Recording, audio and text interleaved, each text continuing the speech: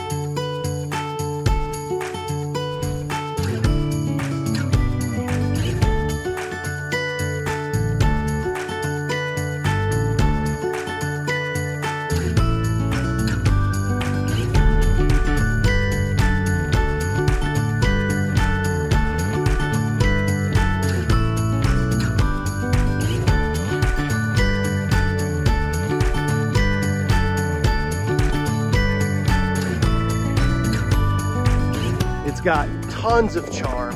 A detached garage with storage attic above, canning shed, as well as a separate shed out by the road, so plenty of storage. I think you're gonna love this, priced at just 169,000. It also sits on just under 1.7 acres of ground, so plenty of space for a yard.